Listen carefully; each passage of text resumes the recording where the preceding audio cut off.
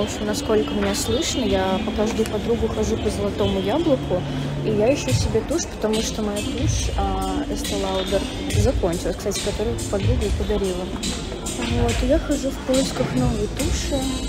И мне очень понравился набор Лора Мерсье. Он а, лимитированный, новогодний. Там в наборе еще карандаш для глаз. Очень красивый, стоит 1700, а тушь сама стоит 2 300, по-моему. И еще в Dior а, сейчас скидки на туши 50% стоит всего 1300. Вот я думаю, блин, а я сегодня тратить деньги не собиралась. Конечно же, до какого акция дня они мне не скажут. В общем, я в раздумьях. А еще я сегодня утром хотела накрасить себе губы карандашом NYX э, трюфель, который я очень люблю. Обыскала весь дом и не нашла. И вот я стою в NYX и не понимаю, мне покупать новый такой же карандаш или нет. Могла найти его просто все утро. Блин, тут еще масло для душа по моей скидке. Точнее, мое любимое масло по хорошей скидке.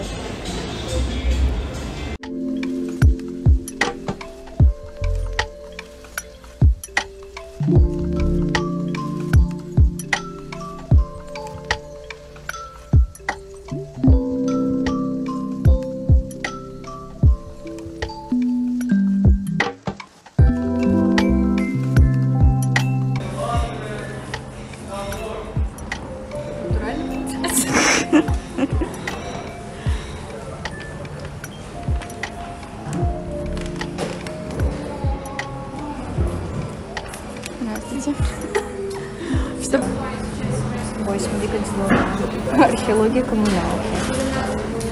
Прикольно. Прикольно. Классная книга. Ну, я бы купила себе такую. Сколько интересно стоит?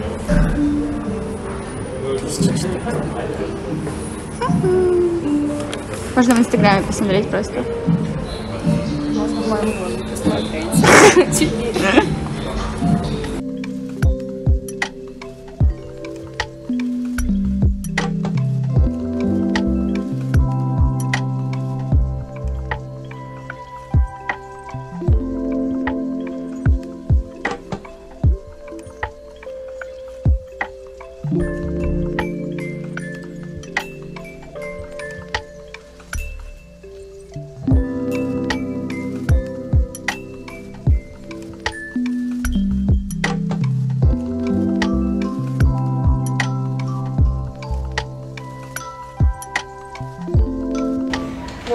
идем сейчас в магазин Iron Bay Миронова. Нам очень интересно а, заценить... О. заценить ее магазин, но он открылся на Литейном, и мы думали, что мы очень быстро найдем вывеску, но она была такая крохотная, маленькая, что мы чуть не пришли, хотя я была в этом месте, здесь у Наташи гримерка, и она меня здесь красила. Сейчас посмотрим, что там.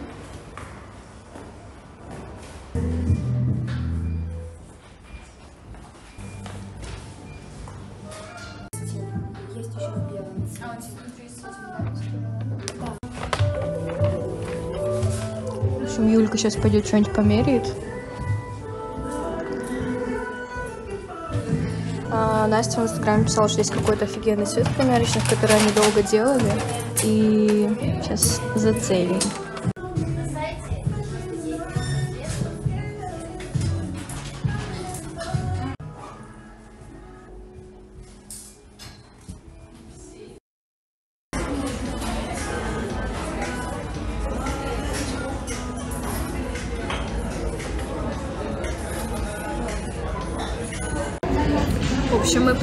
Ресторан Форна Браво Централь. И мы собирались идти в третье место, но оно закрыто по вторникам. Я вообще не понимаю, как какое-то заведение может быть закрыто по вторникам. В общем, слава богу, у меня всегда под рукой мои сохраненки, куда сходить э, в Питере, поэтому мы недолго думали и тоже недалеко от Литейного пришли сюда. Здесь очень красиво. Заказали себе две пиццы, вот ждем. Потом я еще хочу затащить Юлю попить матч, но у нее мало времени, поэтому я не знаю. А самое обидное, что я оделась под антураж третьего места. У меня такой сафари-лук. Вот. А, там как раз песок, э, э, как это, деревянные лежаки. И я там хотела пофоткаться. И не вышло.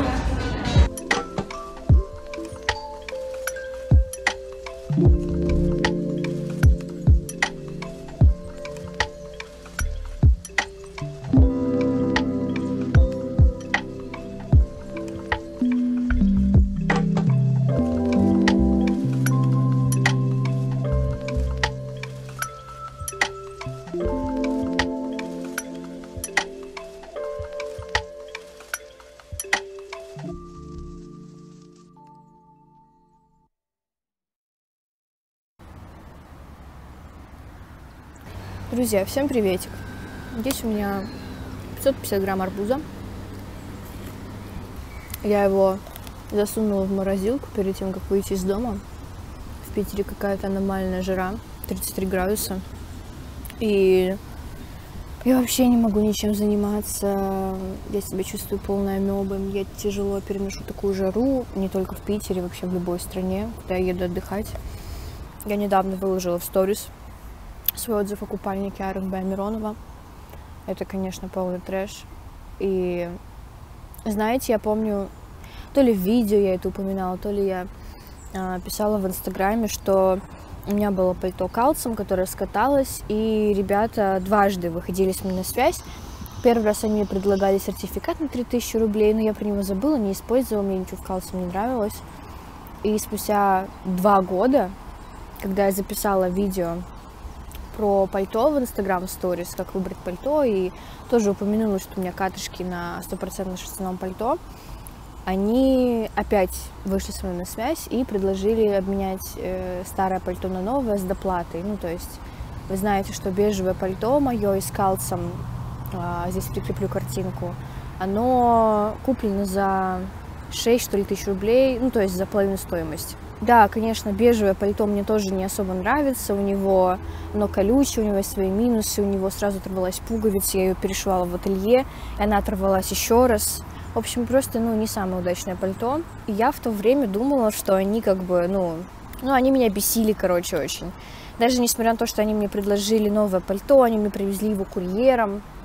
А новое пальто просто было тоже не супер вау, но это проблема производства, да, но это не проблема клиентского сервиса.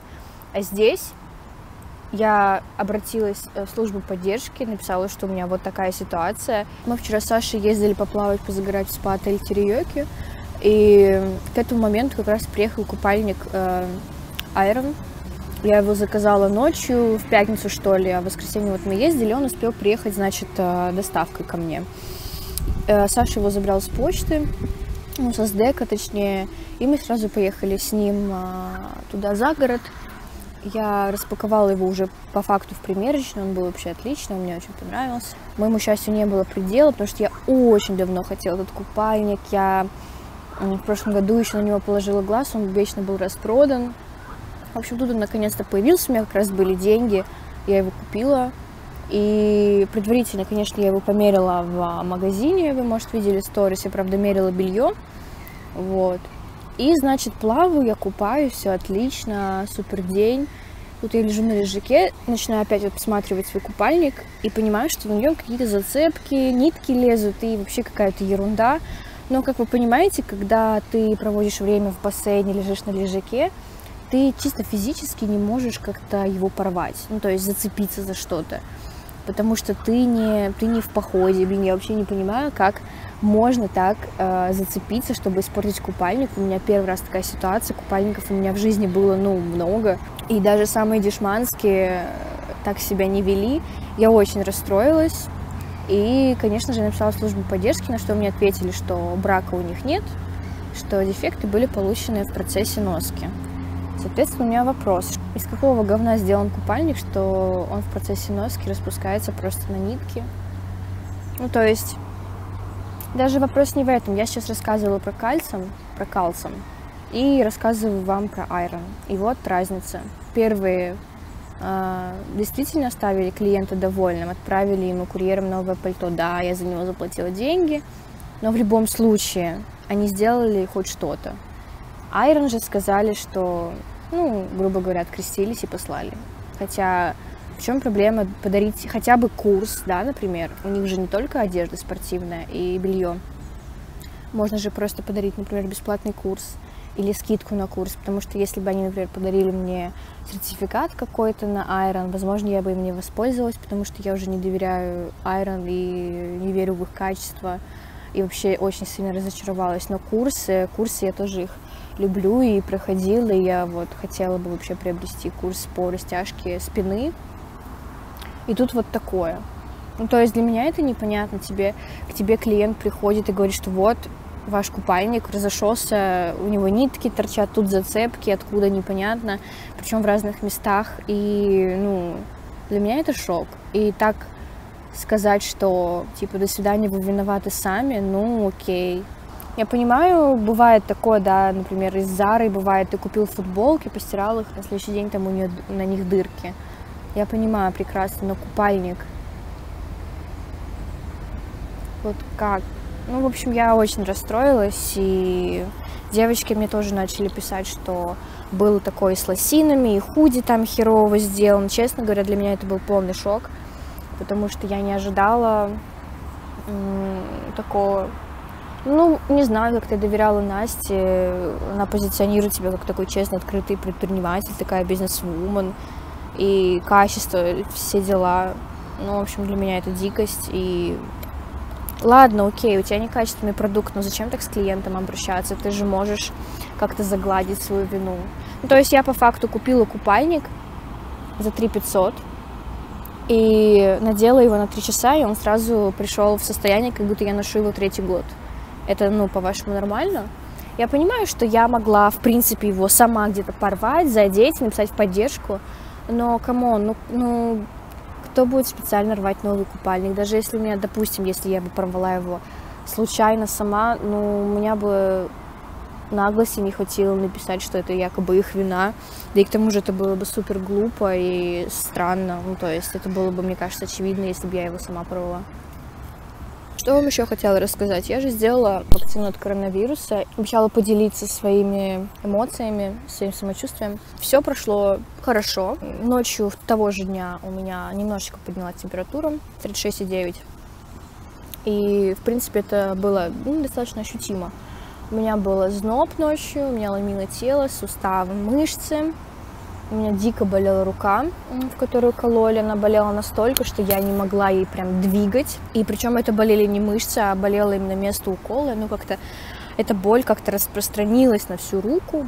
Блять. Вот не люблю сидеть под деревьями, потому что все время что-то падает, и я боюсь, что это какие-то жуки. Понятно, у меня была слабость. В принципе, это все. То есть, э, в принципе, никаких таких последствий жестких не было. Я очень боялась температуры, ее, слава богу, не было. И второй раз я буду колоться 2 июля, это через две недели в субботу. Второго раза я вообще не боюсь, потому что если первый так гладко прошел, значит второй вообще будет чики-пуки. Попробовала мороженое, которое давно-давно хотела попробовать. Вот такое, да, сейчас там а, наплеванные семечки от арбуза. Это О12 протеиновое мороженое кокосовое. А, честно говоря, я ожидала немного большего, но я просто так говорю, потому что я увидела в магазине, сколько оно стоит, и, честно говоря, прифигела. Я купила его в Азбуке Вкуса, оно стоило 200 рублей. А знаете, сколько тут грамм? 75, друзья. Во вкусвеле мороженое протеиновое 75 грамм стоит 100 с чем-то рублей. Существенная разница. И оно как бы вкусное, проблем нет никаких, но мне показалось оно немножечко сладковатым. Во вкусвиле, к сожалению, как бы и не к сожалению, и не к счастью. Мне нравится во вкусвиле протеиновое мороженое, слава богу, что оно там есть. А, оно действительно не калорийное, там действительно много белка, а не как, знаете, там протеиновый батончик, ты смотришь, там белка типа 8 грамм, и ты такой, зачем вообще? Мне не нравится, что во вкусвиле есть э, шоколадное протеиновое мороженое, но оно без сахара, оно оно горькое, типа, почему нельзя положить сахар, ну, хотите, хорошо, не хотите класть сахар, положите стевию, ну, то есть мороженое реально горькое, кайфа никакого нету, вот, мне вот это только не нравится. Фу, голубь. Фу, два голубя. Ненавижу голубей. В субботу мы плавали на сапах. Я, кстати, вот не знаю, когда мне вставлять эти кадры. Мы просто плавали с GoPro. Мне вставить их до этого спича моего или после. Скорее всего, я ставлю после, потому что я сейчас об этом расскажу, и вы увидите, как это было. Нам, в принципе, понравилось. Это не особо такой активный вид спорта. То есть порой может быть скучновато. Но если вы будете плавать по Неве, то по Неве прикольнее, потому что приплывают мимо разные катера, яхты, они делают такие огромные волны, и на них прикольно качаться, немножечко страшно. Вот, так что, в принципе, советую вам. Если вы хотели покататься, сейчас какая-то мода на них пошла в Питере, прям очень много этих сапов, да и в Москве тоже.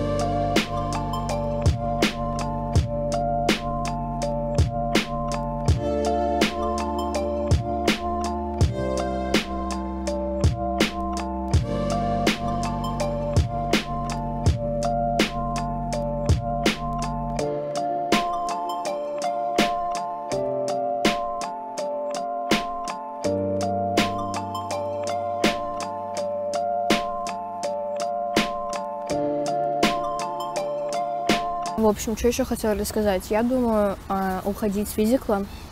Остался последний месяц, и, честно говоря, немножечко жаба душит платить практически ни за что. Еще 7 тысяч рублей. И я в таких раздумьях сейчас, вы бы знали. С одной стороны, физикал дополнил какую-то мою картину мира, картину фитнеса, калорий и так далее. С другой стороны, я это все знала на 80%, о чем они рассказывают. Если вам интересно будет, напишите, пожалуйста, в комментариях. Я запишу отдельное видео большое про физикал, чтобы вы знали, стоит туда идти или нет, что он вообще из себя представляет, помогло мне или нет, что я из этого почерпнула, что я нового узнала.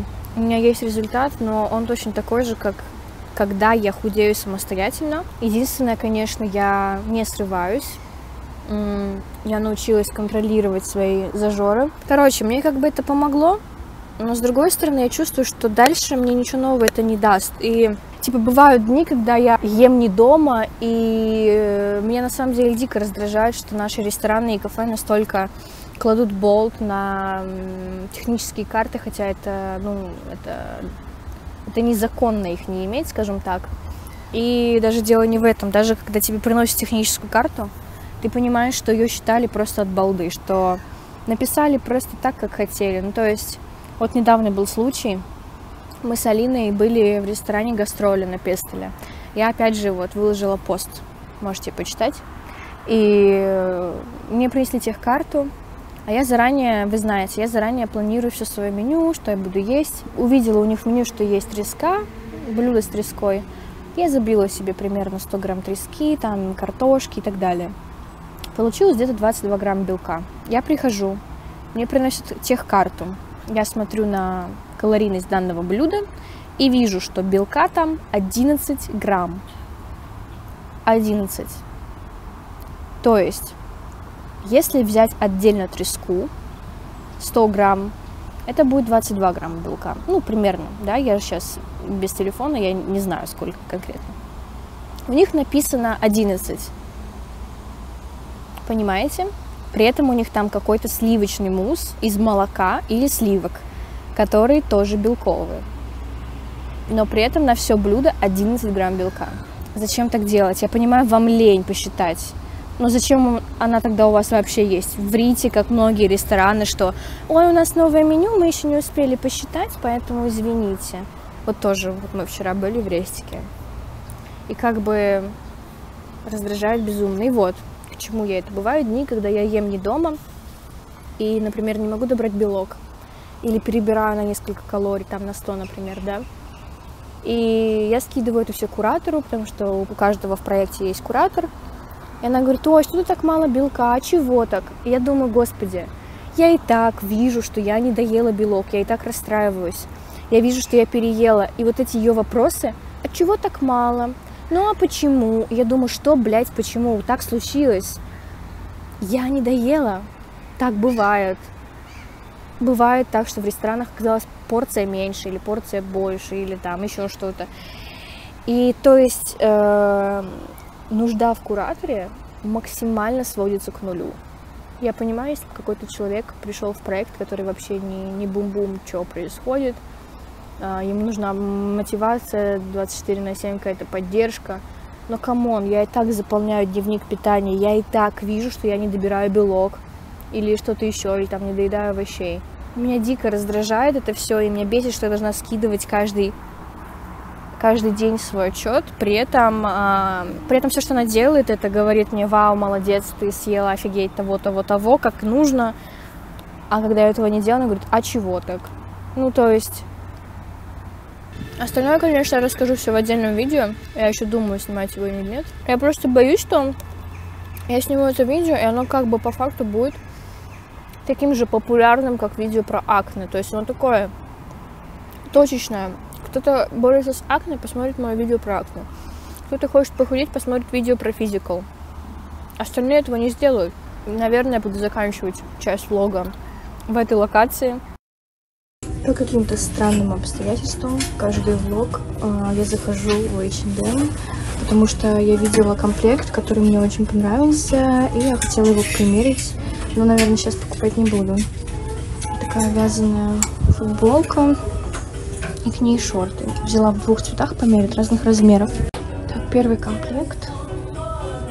На мне поло S и шорты тоже S. А, нет, поло на мне XS. И мне нравится этот комплект. Шорты, по-моему, отлично сидят. А вот поло надо брать побольше, но как-то оно все вместе не смотрится, если честно. Надо поло, наверное, пошире брать. И тут еще здорово, что на шортиках есть вот такая подкладка. То есть э, ничего просвечивать не будет, но при этом на коричневых такого нет. В общем, э, здесь на мне поло S. Оно мне гораздо больше нравится, оно шире. Ой, так, надеюсь, я кольцом ничего не зацеплю. Эм, шорты на мне M. И они сидят очень классно, но они, конечно, небольшие. То есть они затянуты максимально. Но мне нравится, как, что у них э, шире штанишки сами. Вот. Как бы, не знаю, как еще объяснить. Те прям, ну, у них крой такой прямой, и поэтому, конечно, нужно брать размер больше, чтобы они были такие больше летящими. Но очень сильно затянуло. То есть вот ситуация, если я их развязываю. Как бы, вот. Как бы вот так. Это, конечно, не дело. Поэтому М-ка большевато. Но вот S джемпер точно супер. И я не знаю, какой мне цвет нравится больше. Вообще, вроде как бежевый, белый хороший, но и коричневый тоже. И он более универсальный. Такой вот обзорчик. Я не знаю, как так получается. Все время, когда я захожу в H&M и хочу просто что-то померить, это заканчивается тем, что мне это нравится, и я хочу это купить. В общем, я, наверное, возьму белый сет, поменяла размер на S, и хожу в поисках еще чего-нибудь, потому что у меня сертификат со скидкой 10%, но она действует от 2500, а этот комплект стоит ровно 2000, поэтому хочу что-нибудь взять, чтобы была скидка.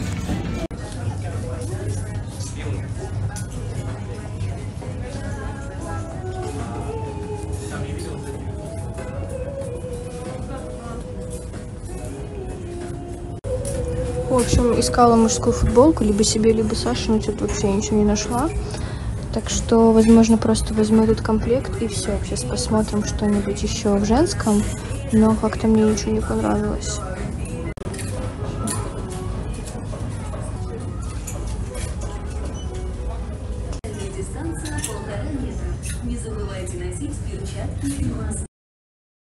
Записываю вам видео, чтобы рассказать, куда я сейчас направляюсь.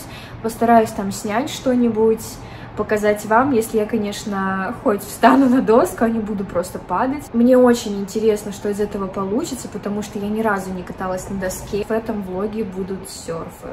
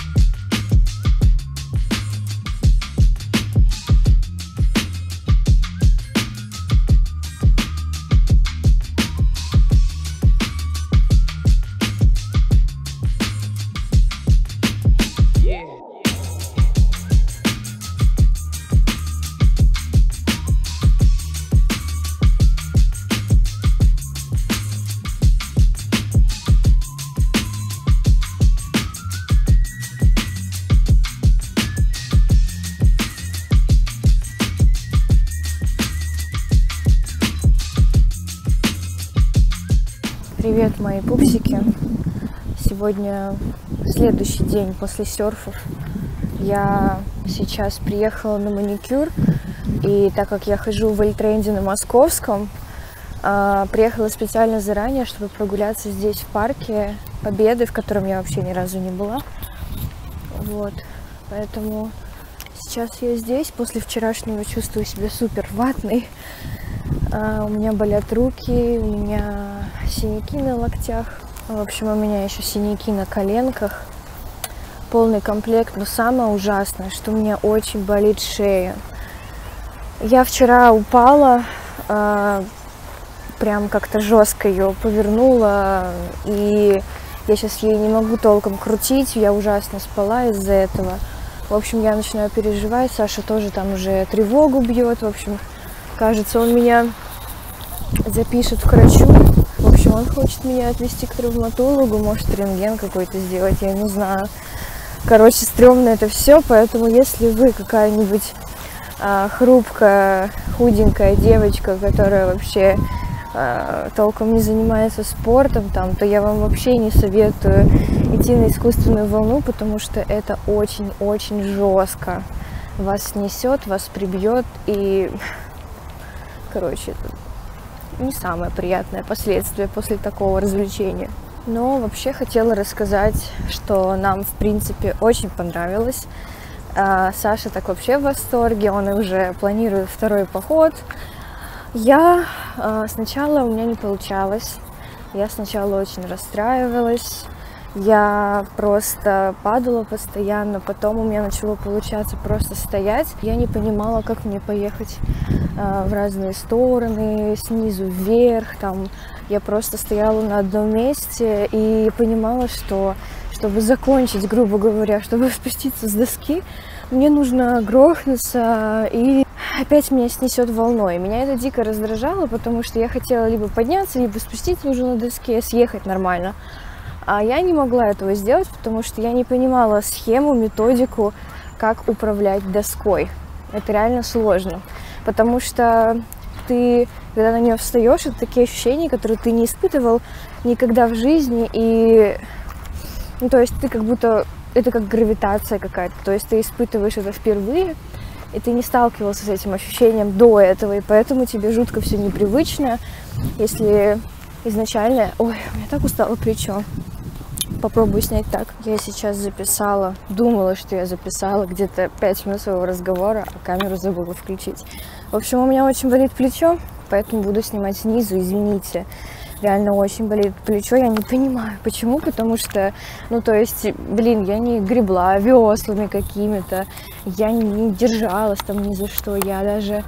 Как вообще я думала, будет проходить наш урок? Я думала, мы будем как-то на этой волне сначала лежать на, на серфах, подплывать как бы к самому э, самому потоку и вставать потом на него и пытаться серфить. Но, как вы видели, все было совсем иначе. Хотела рассказать про падение. Сначала мне было очень страшно, что я буду падать и мне будет очень больно. Но по факту э, боль, которая у меня есть, осталась после этого дня, она проявилась сейчас, на следующий день, да, то есть синяки, какие-то ссадины.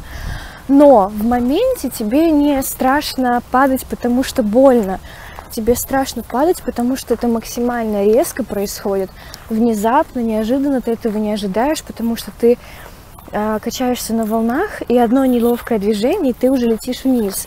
То есть ты этого не ожидаешь максимально. Это не, знаете, это не как ты там едешь на велосипеде, видишь шишку, понимаешь, что если ты сейчас там наедешь или на камень, да, то ты упадешь.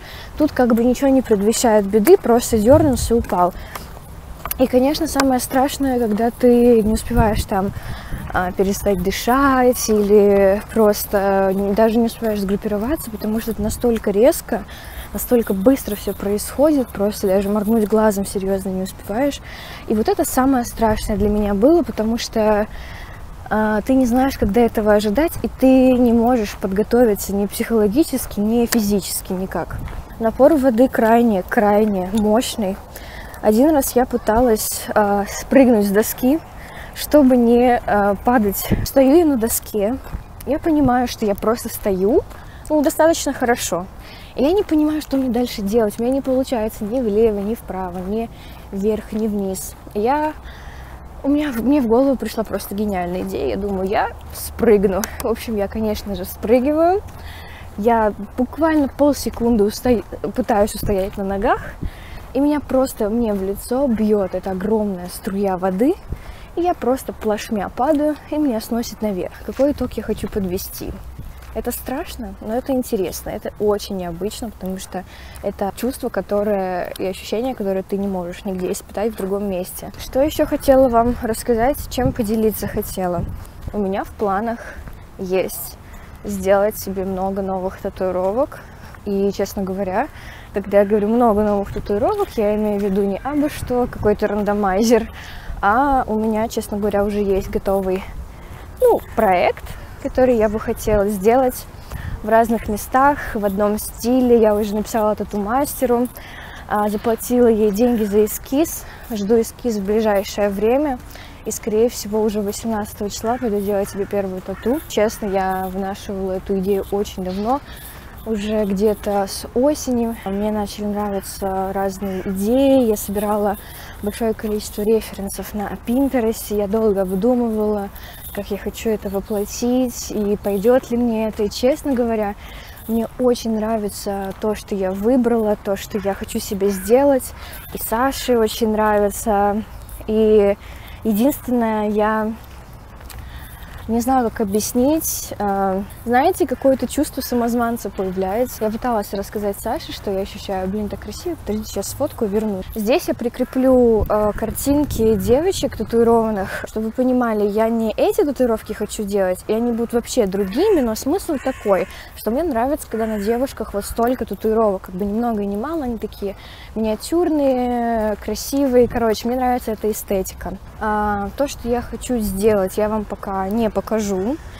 А, во-первых, у меня еще нет точного эскиза, ну и просто не хочу сейчас раньше времени рассказывать и показывать все. Все эти девочки на картинках с такими тату, они все такие, знаете, как девочки из фильмов, такие все загорелые, такие модные, у них такие татухи, они, знаете, как такие девочки... Э, с океана, такие приехали, не знаю, из Нью-Йорка. И ты, ну, и ты на них смотришь такой, да, им идет, типа, это классно. Я начинаю почему-то сравнивать себя с ними и думать, что мне не пойдет. Ну, то есть я, типа, недостаточно какая-то крутая, ну, грубо говоря. Я думаю, вы понимаете, о чем я. Я там слишком, не знаю, простая для этих тату. А не будет ли это смотреться колхозно? Ну, знаете, это как из разряда я не буду надевать вот этот лук, потому что он слишком стильный, типа, куда я так пойду? Ну вот, я не знаю, Саша мне говорит, что это все полный бред, ты как-то себя принижаешь, у тебя реально какой-то странный синдром самозванца, ты, ты наоборот, типа, стильный, крутая, ля-ля-ля, и тебе, наоборот, очень пойдет, и вообще крутые тату. А я как бы, мне как бы капец нравится, и я бы себе сделала, но я почему-то а, боюсь, вроде как мне хочется, мне очень хочется, и мне они нравятся, правда нравятся но я переживаю, что они как будто будут отдельно от меня, потому что что-то там у меня в голове вот с этим связанное. А, я знаю, что я ужасно объясняю. Я, в принципе, плохо разговариваю. Я надеюсь, вы поняли, о чем я. Я надеюсь, что это дурацкое чувство в моей голове не переубедит меня, а, точнее, не заставит меня отказаться от того, что я хочу сделать. Выхожу из парка и пойду на маникюр. Надеюсь, вам понравились мои истории про серф и про тату.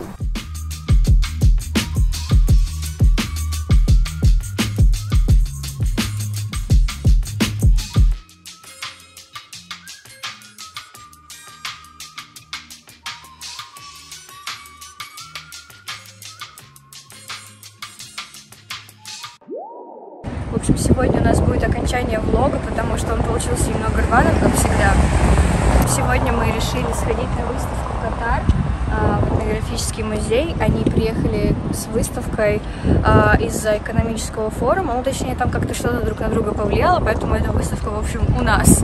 А, мне очень понравились фотки. Потом мы отправимся ужинать в ресторан «Сад», в который мы миллион лет собираемся, наверное, уже год, да?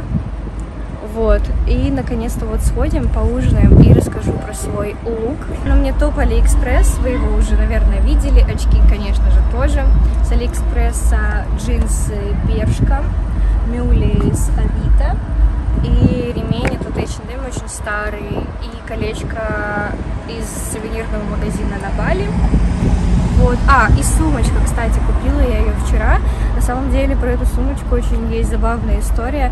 Я ее собиралась заказывать на Алиэкспрессе, но мы вчера ходили по магазинам, забрели в магазин Сенсей, и муж ее там заметил, и в итоге она там стоила даже дешевле, она стоила 800 рублей на скидке, а на Алиэкспрессе собиралась ее заказывать за 1200. Вот такая вот история, поэтому сегодня такая сумочка.